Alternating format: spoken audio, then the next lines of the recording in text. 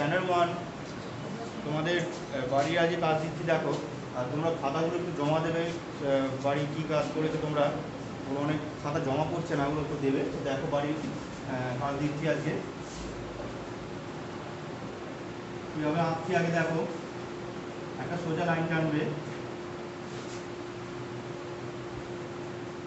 এই লাইনটা এইভাবে ডবল লাইন টেনে দেবে এবার এখান থেকে একটা লাইন, এদিকে আসবে আর একটা লাইন, এদিক থেকে এদিকে আসবে। এবার এই লাইনটা জুড়ে দেবে।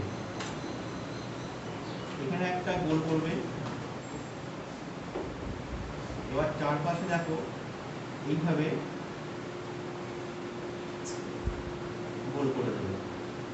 এখান থেকে একটা সোজা লাইন টানবে। সরু করে দুটো লম্বা লাইন।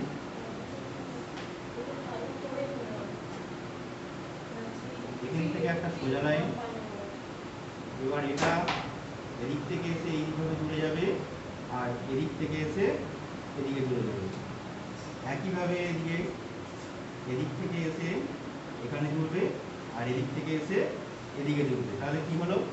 একটা টপ একটা টপ টবেতে একটা ফুল গাছ রয়েছে। তো এটা কীভাবে কি রং করবে দেখো? মাঝখানে তোমরা লাল রং দেবে।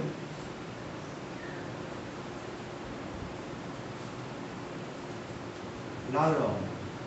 ভেতরে যে কোনো কালার দিতে পারো হয় লাল দিতে পারো অরেঞ্জ দিতে পারো। আমি এখানে কমলা রংটা লিখে দিলাম।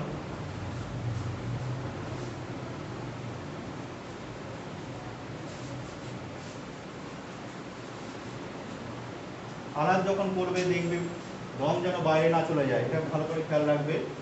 এবার দেখো, ফুলের যে ডাটিটা রয়েছে এখানে গাঢ় সবুজ রংটা দেবে।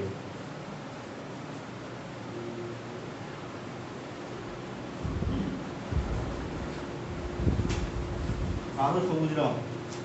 আর পাতাগুলো কি কালার করবে? পাতাটায় প্রথমে গাঢ় সবুজ রং দিয়ে বর্ডার দেবে।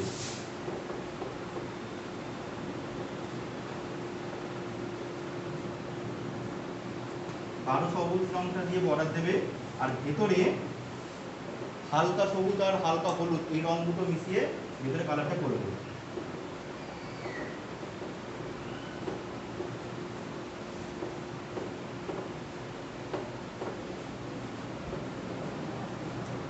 হালকা সবুজ, তার সাথে হালকা হলুদ।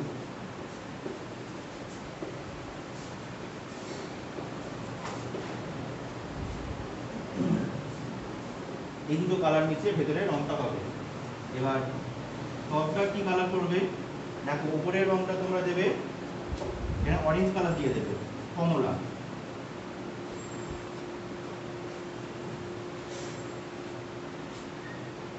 আর টপটার ভিতরের রংটা দেবে খয়েরি কালার